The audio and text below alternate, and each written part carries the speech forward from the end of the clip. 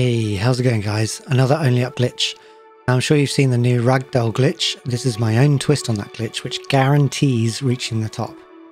Everything you need will be in the video description below, so let's begin. Copy the first line in the description and paste it in your File Explorer address bar and hit enter.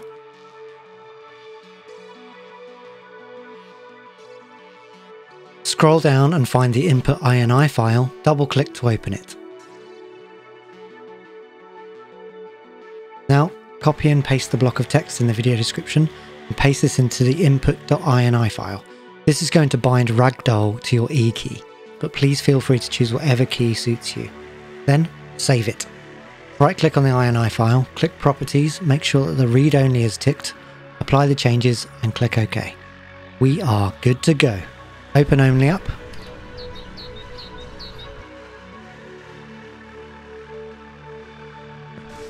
All you have to do for this glitch is to jump, immediately enter slow-mo and alternate spamming Control and E until your character starts spinning like a madman.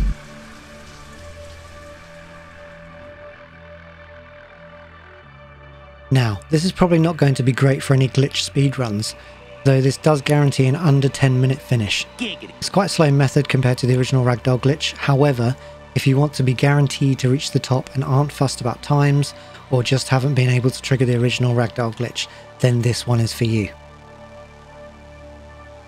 Now, what I haven't told you yet is that if you mess up, fall or miss your landing zone, simply alternate spamming Control and E again whilst in midair.